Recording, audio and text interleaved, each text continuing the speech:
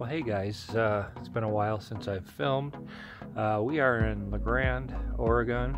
Uh, I just went to Habitat for Humanity because we didn't have a uh, bathroom vanity yet, so we're kind of on a budget, and uh, I was able to find this one.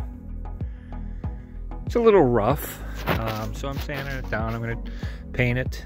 Uh, well, hey guys, got the vanity moved in from uh, outside. I was sanding it and uh, got it in place. It's not hooked up or anything like that, but uh, I was going to paint it and it's a little chilly outside. And once I got it sanded partially down, I kind of like the look of it. So we're gonna try it like this. Uh, what do they call it? Shabby chic?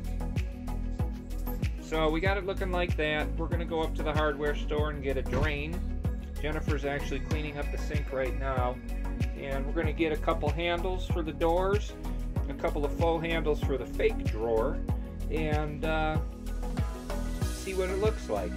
Uh, it doesn't take anything to put a coat of paint on there, so if we don't like it, we can put a coat of paint on it. But uh, hey, 10 bucks, Habitat for Humanity.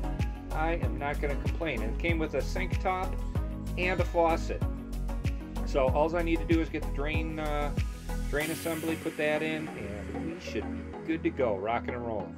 We've been using our kitchen sink, so um, for not only dishes, but brushing our teeth and stuff like that. So it'll be nice to have a full bathroom.